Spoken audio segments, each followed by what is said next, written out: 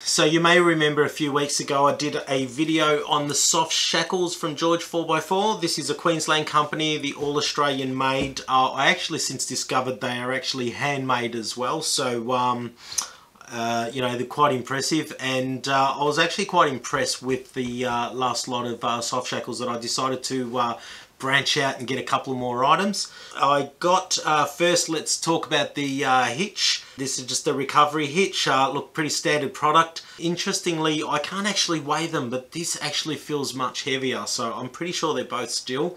I'm not sure what sort of steel and all the you know finer details of it all. If you know, please let us know.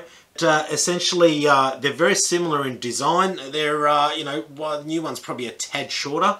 Uh, look, that's um, you know, a bit roughed up and, uh, you know, that's predominantly from my last Outback uh, trip. It was, I put that on the trailer uh, just as a safety measure and it uh, obviously took a bit of a beating with the, the sand down the back there and the dust uh, that got through it. But the main difference uh, between the two is um, the holes and it's the rounded edges essentially in the holes. Now I will give you a bit of a close-up look at it as well.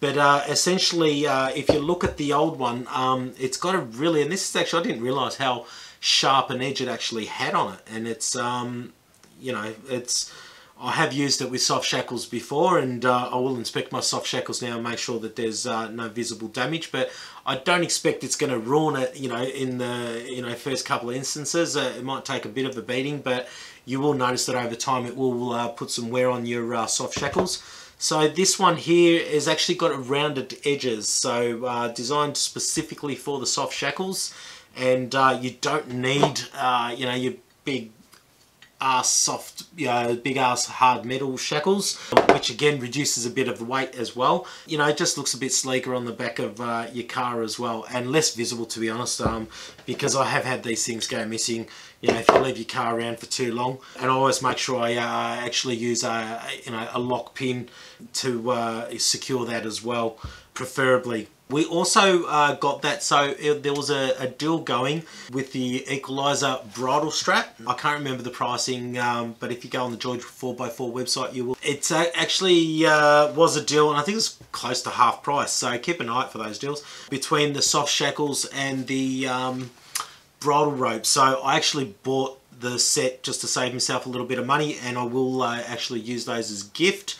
Um, hopefully I've already handed that out before the um, video comes up. But uh, essentially the bridle rope is a 10 foot. It's the same um, design essentially. I'm pretty sure it's 11 mil. 10 foot. I think it's about 10 ton um, capacity. It uh, has the sleeves, uh, it looks like it's actually uh, got a double sleeve there uh, by the looks of things. Uh, yeah, there you go. So it's got a double sleeve uh, there to line it up and give a bit more protection to the rope. So for those don't know, a bridle rope is essentially what you would attach to the two recovery points at the front. Now keep in mind those recovery points at the front too will not have those rounded edges so um, I'd probably be likely that I'd be using the uh, hard shackles on that and that's probably something for the manufacturers to start thinking about. Obviously we're going to need um, some better designed uh, recovery points that are more soft shackle friendly but essentially these uh, get attached uh, at either end and it equalizes the uh, weight or the uh, force that's applied to your, your two recovery points. So if you use one recovery point I think it's technically to uh, handle the pull but you know you'd rather not do it you'd rather spread the weight between the two and that's the whole idea of that. You know a little bit of uh, extra protection there or just you know keeps it a little bit tidy. Sleeve there to uh, protect and uh, cover that up. Oh there you go it's got the ratings there. It's 11 millimeters uh, 3 meters and uh, 10,000 kilos or 10 tons. So made and tested in Australia by George 4x4 so there you go. And if I compare this, um, because one of my main concerns actually was, um, you know, uh, I was thinking it's going to be a, a, bit more chunkier, but it actually feels lighter, a little bit less chunky. It actually doesn't add a lot of um, space to uh, the original. So that's the original uh, equalizer strap that I have in uh, had in my car. So I've decided to go with that now. So I'll put that aside. Uh, you know, doesn't don't necessarily need that, uh, or hopefully I won't need that anymore. All of them come with a bag. You know, well packaged when they arrive. And uh, like I said in my last video, they're locally made, so they're Australian made, made in uh, Queensland.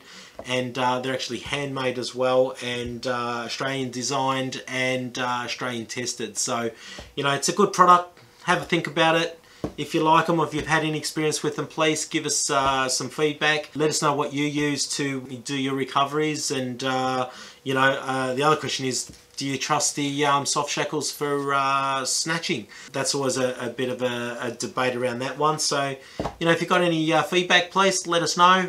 Other than that, thanks very much for joining us uh, once again. And we'll see you again next week. Like, subscribe, do all that stuff. Catch you again soon, guys. Thanks for coming.